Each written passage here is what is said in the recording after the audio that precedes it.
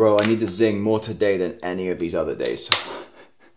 and let's talk about my dream car. So we have a two month that wakes up like every two hours. My wife feeds him. And then our two year old was up at like 3.30 and he wants to come up and sleep with us, which is lovely. I love that. And then Duda was up at like 3.34 to go out. She went pee, came back, tummy started rumbling, so she needs to go out again. Do I have a freaking eyelash in my eye?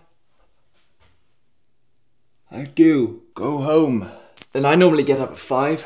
The zingy is hitting the spot though. Dream car. So I drive a, a, very sexy 2016 Chevy Malibu Limited. And I think that tells you everything you need to know that I don't really care that much about cars. But there are two that I have in mind that I would think would be really sweet. Oh yeah, it's nice and fresh.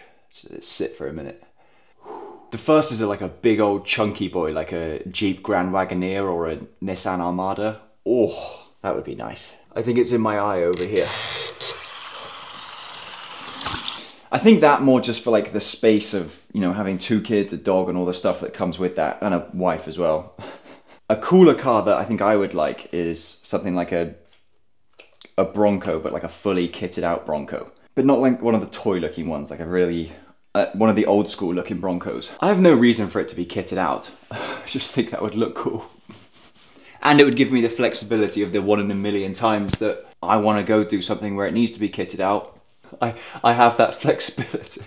But I'm also I'm also fine with the Chevy Malibu. I'll tell you an interesting thing. So I get recognized in public sometimes. Not like a lot. This isn't to put me above. For some people, the idea of being recognized and not looking their best or like being perceived to have a lot of money and have made it, that doesn't really bother me.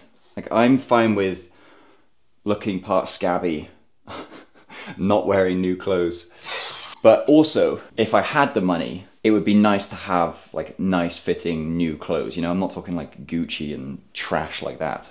But just this hoodie, I think I've had for at least six years.